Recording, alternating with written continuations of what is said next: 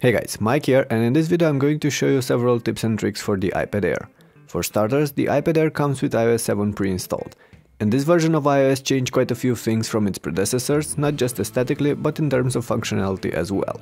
Let's take the way you unlock the iPad for instance.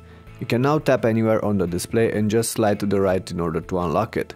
Besides that, you can drag from the top for the notification panel or drag from the bottom for the newly introduced control panel directly from the lock screen without having to unlock your device first. Speaking about the control panel, this one integrates the audio player, brightness and volume controls in one place and also adds a few quick toggles and quick launch options for the camera and timer. That's useful and definitely something we've been expecting on iOS for a while, but iPhone one would have wished to be able to customize the toggles and options displayed here, but that's not the case. Moving on, once you get past the unlock screen, you will notice the new animations introduced with iOS 7. As someone who expects instant response from its device, I was highly annoyed by those, but you can somewhat address them. Go to Settings, General, Accessibility and make sure Reduce Motion is set to On. This will temper the animations and the parallax effect on the icons and alerts. From the same accessibility panel in the settings, you can also adjust the font size, you can increase the contrast of some backgrounds for better legibility and also make the text bold system-wide. For that, the iPad will ask to restart itself. Those aside, iOS 7 brings a new multitasking panel. We no longer have those small icons on the bottom of the screen, but actual large representations of the apps. You can close an app by swiping it up the screen, kinda what we've seen on Android devices for a while. There's no option to quickly close all the apps, but you can close two or even three at once if you want to.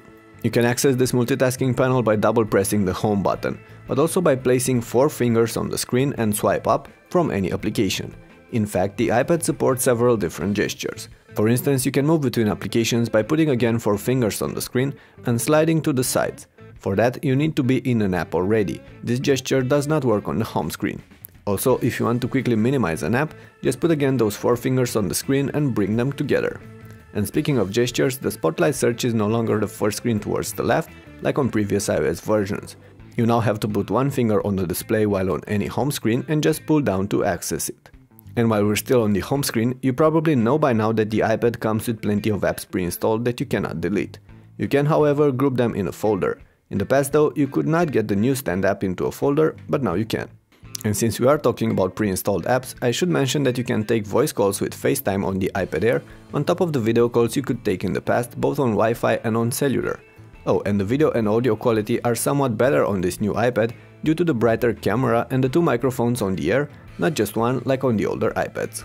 That aside, there's still Siri on the iPad Air and it's gotten smarter. You can select a voice gender for Siri and between several different languages. And on top of that, it has a few new functions, like the ability to toggle off radios and other system settings, or the ability to learn how to pronounce certain names and so on. Moving on, there are a couple of neat tricks that involve the buttons on the iPad Air. For instance, if you want to take a picture with the iPad, you need to open the camera app and then you can use the volume down key to control the shutter. Pressing it once takes one photo, keeping it pressed will result in a burst of pictures. Besides that, you can take a screenshot by pressing and holding the power and the home buttons. Once you release them, you'll get a glow effect on the screen that notifies you that a copy of your display has been saved in your photos album. Back to that camera, you should know that on the iPad Air you're not going to get all the options available on the iPhones. For instance, there's no panorama mode, no filters and the ability to take a picture while recording a video is missing as well. However, you can zoom in and out while shooting a clip. Alright, last but not least in this clip we're going to once again turn our attention towards some of the pre-installed apps. Safari now offers a private navigation mode. You can enable it by opening a new tab and hitting the private writing in the bottom left corner. When the private mode is active, the browser's interface will turn darker. And there are a few neat tricks you should know about the email app as well if you're using it.